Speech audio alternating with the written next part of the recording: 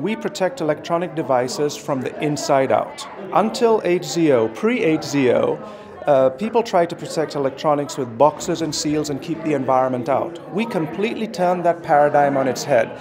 We use nano coatings to protect the internal guts of the electronics so the environment can come in without damaging the electronics.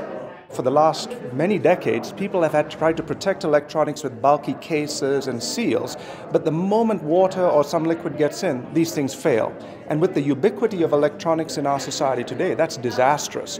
What we do is protect the electronics from the inside out, much like a vaccine, but we use a nano coating and this allows the environment into the electronic devices. So my phone, you'll see water under the screen in the electronics, and they survive. They're completely seamless with the environment. And today we're being mass adopted. We've figured out how to do this at scale, at, at a very economically viable price point or cost point. So companies like um, the ones I can speak of, like Dell, Motorola, Kobo, Elecom, Deutsche Telekom are commercializing us in the mass market. A lot of the technologies we used already existed. The material is actually a substance called parylene.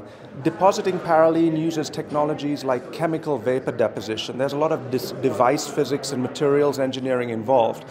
A lot of these technologies have existed for 40 years. What people haven't been able to do is constitute them in a manner that can be mass produced, can be mass introduced in a reliable and economically viable manner. So that was really, that's was what the genesis of HZO. We took these disparate technologies, combined them into something very special and very unique, and then we went prime time with them.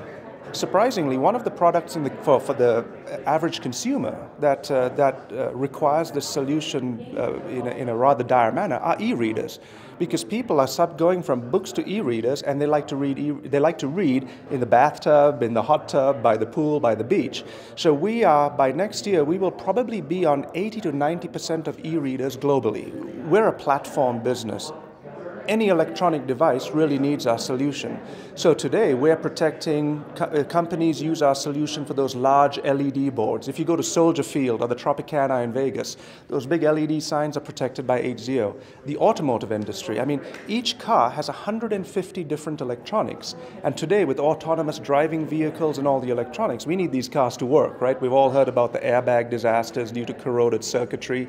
So in the automotive space, we protect products for the military. So I, think really when you look at the future, all electronic organisms, devices, need to be vaccinated. So we see what we are doing as the single biggest trend in the electronics industry, not for the years to come, but for the decades to come.